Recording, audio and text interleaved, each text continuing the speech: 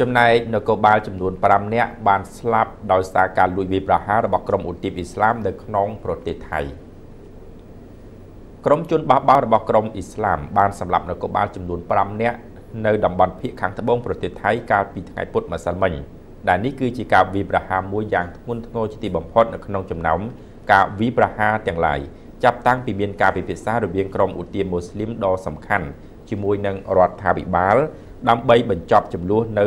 តាមតំបន់នៅក្នុងប្រទេសអស់រយៈពេលជិត1ទសវត្សរ៍កន្លងមកនេះកងនគរបាលក៏បានឲ្យដឹងថា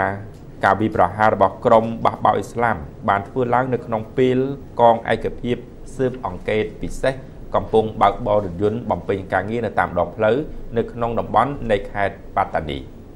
គួរឲ្យដឹងផងដែរថាថៃជាប្រទេសដែលមានក្រមអ្នក គោរពសាសនាព្រះពុទ្ធដ៏ច្រើនលើសលប់ហើយការវាយប្រហារប្រឆាំងចំពោះការដឹកនាំរដ្ឋាភិបាលនៅភាគកណ្ដាលប្រទេសមានខេត្តយ៉ាឡាខេត្តប៉ាតានីខេត្តនារាធិវត្តបានកើតមានអស់រយៈពេលជិត1ទសវត្សរ៍មកហើយ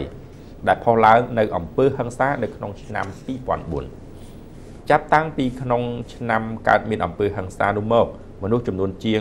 5200នាក់បានស្លាប់នៅតាមខេត្តមួយចំនួននាភាគខាងត្បូងរបស់ប្រទេសថៃ។